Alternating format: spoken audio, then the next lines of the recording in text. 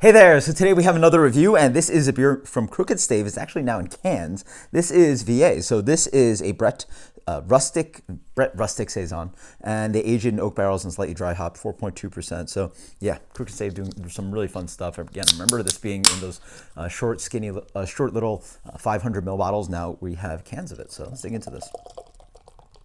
Are they 500 ml? They might have been 375. Anyway, you guys post in the comments below. It's those little bottles that the um, Crooked Stave used to do. And now we finally have them in cans, so really exciting. Uh, beer comes in a light straw color, has a medium to medium minus haze to it. Wonderful, a small bubbled white head to it. Really light and bright white. Let's get the aroma. Mm. So it's immediately uh, a fruitier kind of Brett character. I, I think that's what Chad uh, Yakobson's actually going for. And it's quite tropical. It's, it's pineapple it has a little bit of like light kind of gingery spice to it.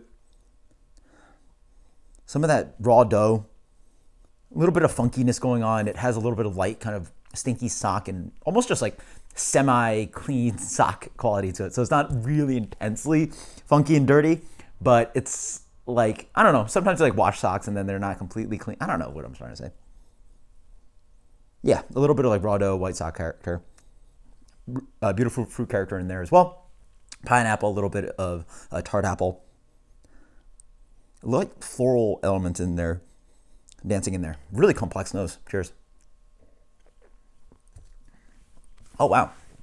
So, up front, this beer tastes like there's uh, fruit added to it. There's a distinct kind of like almost prickly pear kind of character uh, on the beer. It might be the combination of hops and the Brett character, but it is quite fruity. It has a light touch of guava, slight tropical. Again, prickly pear is the flavor I'm going for.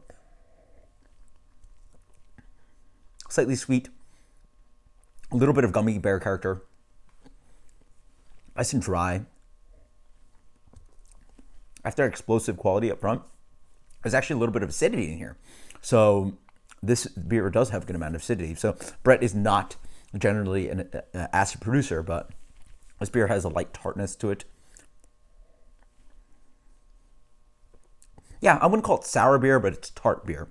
And um, it has a beautiful tropical funk to it instead of a really intense, smelly kind of funk that a lot of uh, people I think would associate with, which is like dirty, barnyardy, intense, and almost like like attic and basement kind of no- notes to it. This one's young, fresh, bright.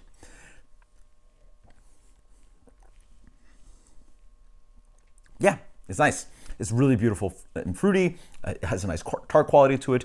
It's beautifully dry. There's a light, you know, doughy, crackery malt, but dries away quite quickly. Uh, pretty much not too much to say on the back end. Again, more of those whispers of those uh, fruity qualities, so maybe it's the hops speaking, but beautiful combination of uh, yeast expressiveness, great use of Brett. I love that it's so tart and then has complex fruit qualities to it. This is just a crusher, and 4.2%, a beautiful session beer with intense amounts of complexity. Wow. As I talk about it more, it almost tastes like a really tiny, watered down, less tart, complex Hill Farmstead farmhouse beer, farmstead beer, whatever he calls them. Fruity Brett character, slightly tart, beautifully drinkable. And this one's low ABV. There you go, exactly. Uh, you know, you sort of connect the dots, and I realized, like, what does this remind me of? Why is this beer so good? Oh, because it reminds me of Hill Farmstead. Um, it's not exactly there, but it has whispers of it. Again, it's it's just when you make well-crafted uh, saison slash farmhouse beer, you're, you're going to have those kind of and, and, and, use those specific characteristics. Again, a little bit of wood, a little bit of uh, Brett Funk, a little bit of tart, a little bit of um, fruity qualities, a little bit of hopping, blah blah blah. You're going to get somewhere uh, close. So, absolutely delicious. That's for rating. I wish I bought a full six pack of this. Oh, it's so good. And as I uh, wait more, there's a light kind of minerality, almost like a stone note coming through in the middle. I'm curious if it's water treatment or anything, but then again, I think Colorado is using soft water. But anyway, uh, beer here is getting a 95. Absolutely delicious, 95. This is Crooked Stave Vieille. This has got to be one of the best session farmhouse beers that I found on the shelf. If anything, I don't even know if that's a style you can generally find on the shelf, but at the price point, the fact that it's accessible, it's canned, It is so well executed. Um, what else can I say about it? Until next time, guys. Cheers. Later.